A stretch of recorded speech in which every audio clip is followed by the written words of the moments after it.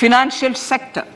Our reforms in the financial sector and innovative use of technology have led to financial inclusion at scale, better and faster service delivery, ease of access to credit, and participation in financial markets.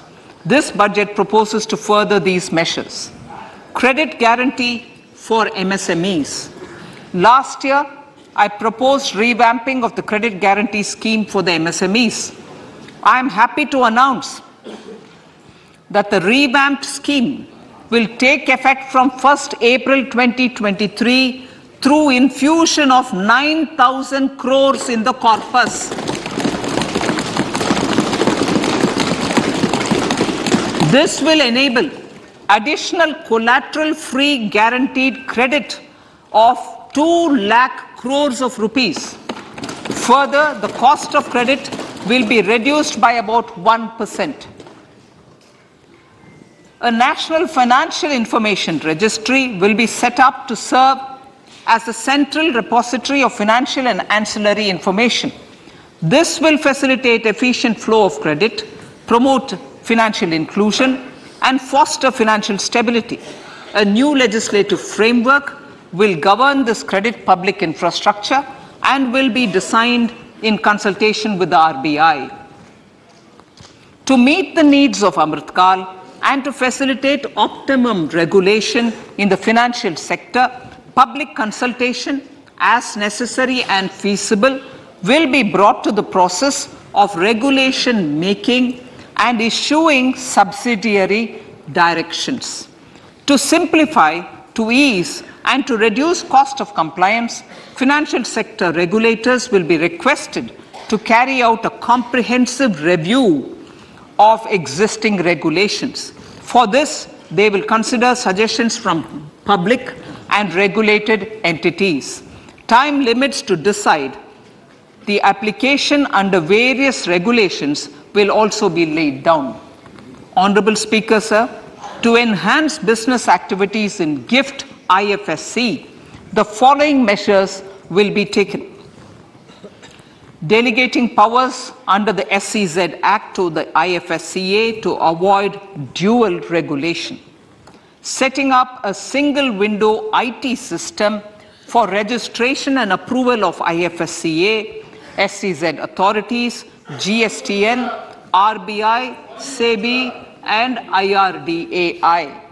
Permitting acquisition, permitting acquisition financing by IFSC banking units of foreign banks.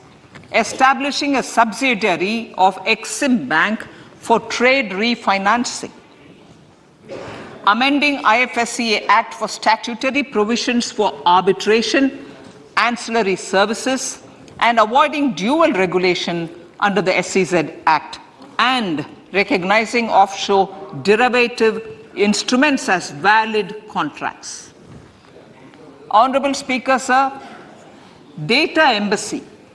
For countries looking for digital continuity solutions, we will faci- facilitate setting up of their data embassies in GIFT IFSC.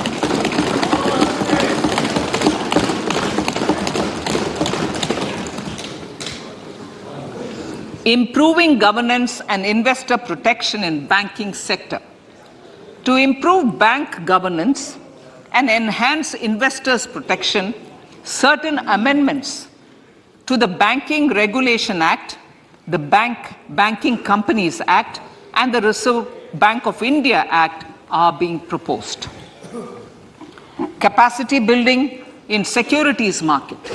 Honorable Sp- speaker sir to build capacity of functionaries and professionals in the securities market, SEBI will be empowered to develop, regulate, maintain, and enforce norms and standards for education in the National Institute of Securities Markets and to recognize award of degrees, diplomas, and certificates. A central data processing, a central processing center a central processing center will be set up for faster response to companies through centralized handling of various forms filed with field officers under the Companies Act. reclaiming of shares and dividends. For investors to reclaim unclaimed shares and unpaid dividends from the Investor Education and Protection Fund Authority with ease, from the Investor Education and Protection Fund Authority with ease, an integrated IT portal will be established. Digital payments continue to find wide acceptance. In 2022, they show an increase of 76% in transaction and 91% in value. Fiscal support for this digital public infrastructure will continue in 2023-2024. आजादी का अमृत महोत्सव महिला सम्मान बचत पत्र For commemorating Azadi Ka Amrit Mahotsav, a one-time new small savings scheme, Mahila Samman Savings Patra or Savings Certificate, Mahila Samman Savings Certificate will be made available for a two-year period up to March 2025.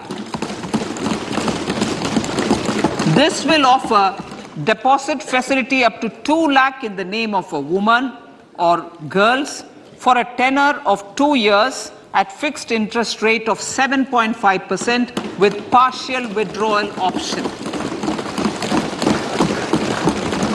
Senior citizens, the maximum deposit limit for senior citizens savings scheme will be enhanced from 15 lakh to 30 lakhs of rupees. The maximum deposit limit for monthly income account scheme will be enhanced from 4.5 lakh to 9 lakh for single account and from 9 lakh to 15 lakh for joint account. Honorable Speaker, sir, fiscal management. 50 years interest-free loan to states the entire 50 year loan to states has to be spent on capital expenditure within 2023 24. Most of this will be at the discretion of the states, but a part will be conditional on states increasing their actual capital expenditure. Parts of the outlay will also be linked to or allocated for the following purposes. Scrapping old government vehicles, urban planning reforms and actions, financing reforms in urban local bodies to make them credit worthy for municipal bonds, housing for police personnel above or as part of the police station, constructing unity malls, children and adolescent libraries, and digital infrastructure and state share of capital expenditure of central schemes. Honorable Speaker, sir, fiscal deficit of states. States will be allowed a fiscal deficit of 3.5% of GSDP, of which 0.5% will be tied to power sector reforms. Revised estimates 2022 to 2023.